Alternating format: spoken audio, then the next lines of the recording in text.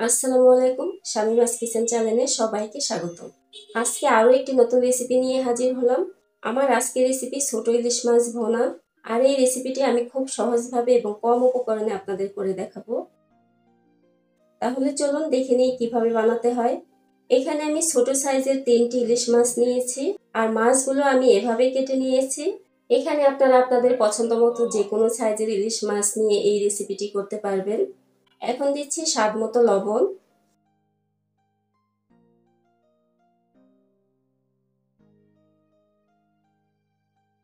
হলুদের গুঁড়া দিচ্ছি হাফ চামচ।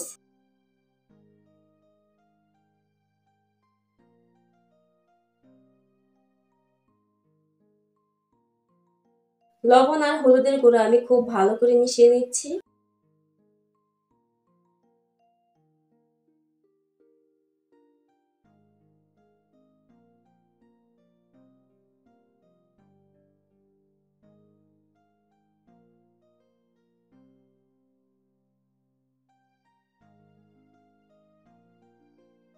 মেশানো হয়ে গিয়েছে, এখন সাইডে রেখে দিচ্ছি। এখন চলা একটি পাত্রে আমি পানি গরম করে নিয়েছি। মাছ ভুনা করার সময় এই গরম পানি প্রয়োজন হবে। চুলায় অন্য একটি ফ্রাই প্যান বসিয়ে দিলাম। এখন দিচ্ছি মাছ ভাজার জন্য পরিমাণ মতো সয়াবিন তেল।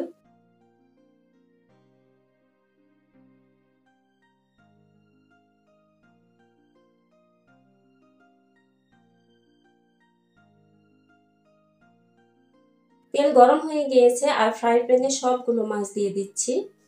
আমি সবগুলো মাছ একত্রে হালকা করে ভেজে নেব।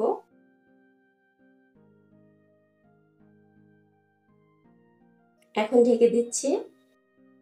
মাছগুলো ঢেকে ভাজলে তেল ছিটে আসার ভয় থাকে না। এক পাশ হয়ে গিয়েছে, এখন মাছগুলো আমি উল্টে দিচ্ছি।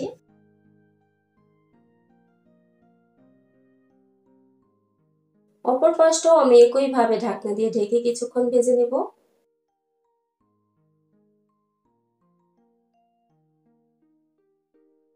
ভাজা হয়ে গিয়েছে, এখন তুলে নিচ্ছি। আপনাদের দেখে দিচ্ছি কি রকম ভাবে ভেজে নিয়েছি। এখন মাছ ভাজার অবশিষ্ট তেলের মধ্যে আমি পেঁয়াজ কুচি দিচ্ছি এক কাপ।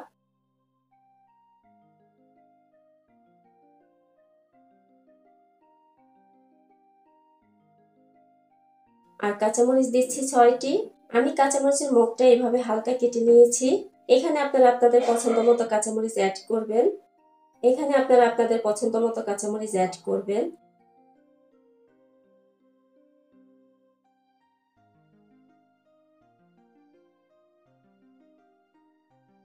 পেঁয়াজ আমি বাদামি করে ভেজে নিয়েছি।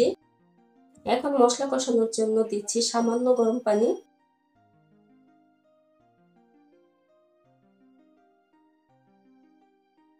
এখন রসুন বাটা দিচ্ছি হাফ চামচ।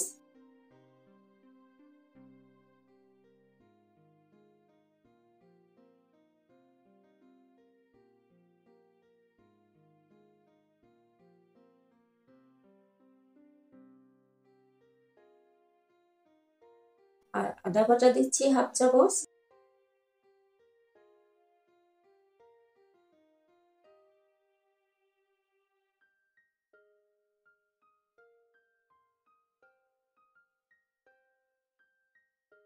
লবণ দিচ্ছি স্বাদ মতো।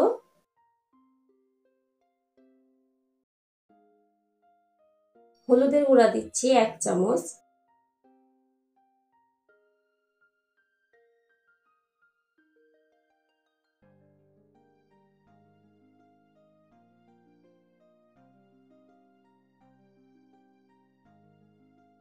লাল মরিচের গুঁড়া দিচ্ছি হাফ চামচ।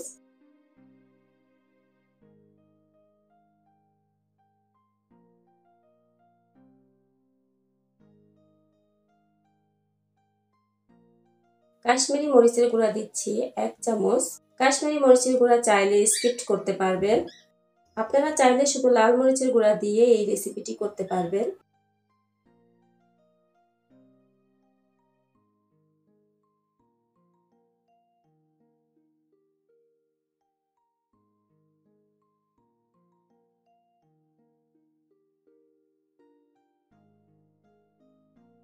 এখন ধনিয়া গুঁড়া দিচ্ছি এক চামচ।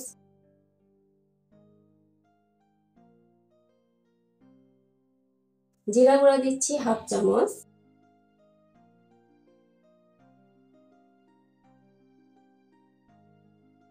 এখন সব মশলা আমি ভালো করে কষিয়ে নিচ্ছি। মশলা কষানো হয়ে গিয়েছে। এখন দিচ্ছি মাছ।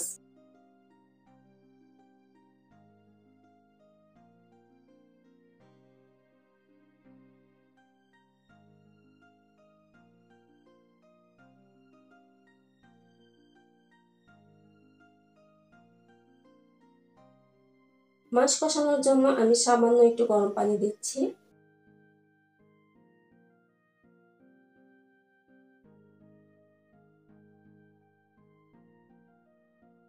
মাছ কষানো হয়ে গিয়েছে, এখন গরম পানি দিচ্ছি দেড় কাপ।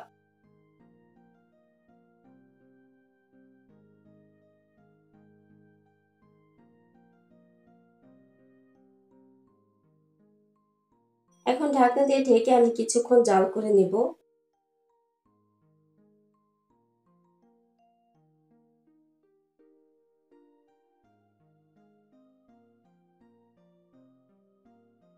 মাছগুলো আমি খুব সাবধানে উল্টিয়ে দিচ্ছি।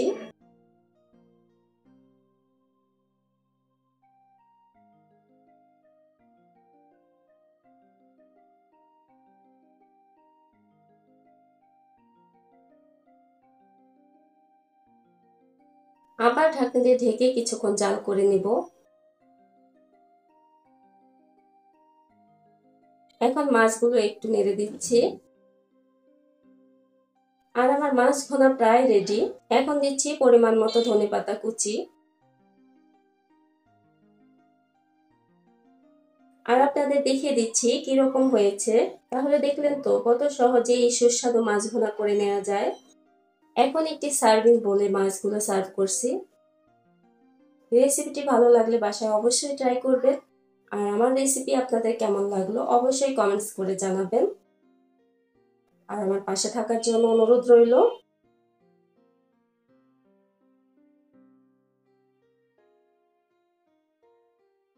ভিডিওটি সম্পূর্ণ দেখার জন্য আপনাদের অসংখ্য ধন্যবাদ।